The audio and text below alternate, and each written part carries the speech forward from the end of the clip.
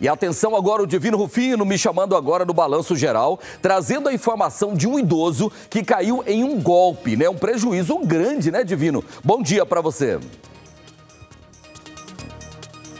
Bom dia, Oloares. Bom dia a todos que estão ligados na Record TV Goiás. Oloares, eu sempre gosto de explicar bem explicadinho os novos golpes, os golpes já manjados que a gente mostra aqui porque as pessoas não podem cair nesses golpes. Se for cair em golpe, gente, cai em golpe novo, golpe que a gente já mostrou, pelo amor de Deus. Na verdade, não é para cair em golpe nenhum. Mas olha só esse golpe, Aloares.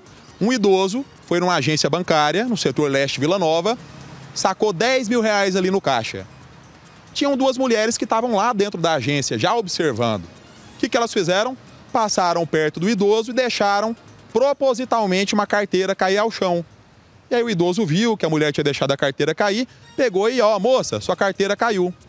Aí ela, nossa, que bom que você achou minha carteira, obrigada, que não sei o quê. Vamos ali que eu vou te recompensar, vou te dar uma recompensa.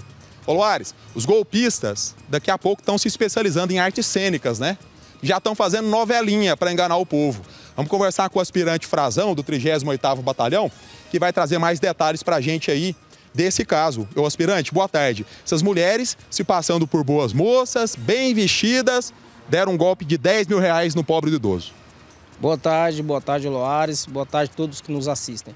Sim, ontem, é na, na parte da tarde ali, na, numa agência bancária, na Vila Nova, uma, um senhor foi sacar 10 mil reais e lá dentro da agência já haviam pessoas, né, duas mulheres aparentemente, que estavam vigiando aquelas pessoas que fazem saque observou que esse idoso realizou o saque e ao sair da agência, elas deixaram a carteira cair na frente né, do idoso.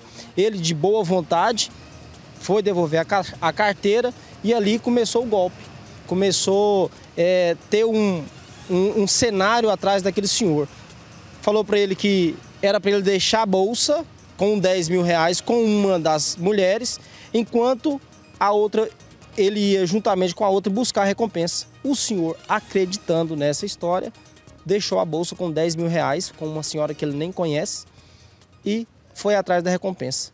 E não tinha recompensa nenhuma. Então a Polícia Militar a, aproveita esse espaço para orientar o, a sociedade que quando for nesses ambientes sacar algum dinheiro, por mais que chegue alguma outra pessoa para te dar alguma recompensa, fala que não, reitera, fala, ó, procura um, outro, um terceiro, porque agora você está ocupado ali em levar o seu bem, o seu valor para casa. Aspirante, só para a gente entender, quando o idoso foi então com essa mulher buscar aí a suposta recompensa, essa mulher deu no pé. Aí ele voltou para pegar a bolsa com a outra mulher, também já tinha escafedido. É, não, não achou, não encontrou a bolsa. Né? Ele foi atrás para pegar a recompensa dentro de uma galeria que não tem a saída para a rua. E aí, quando ele voltou, a mulher já despistou, foi embora. Na hora que ele voltou para pegar a bolsa, né, que ele tinha deixado com outra terceira, já não havia ninguém.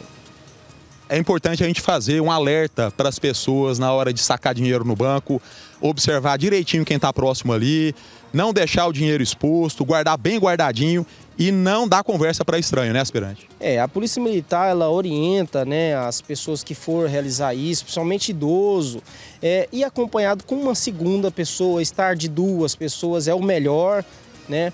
E se alguém apresentar com essa boa intenção, querendo recompensar, diz não, diz não, para não cair nesse golpe. É o golpe do achadinho aspirante Frazão do 38º, muito obrigado pela entrevista. Taio Loares, o golpe do achadinho, esse idoso se perdeu aí na conversa dessas duas mulheres e perdeu 10 mil reais, infelizmente.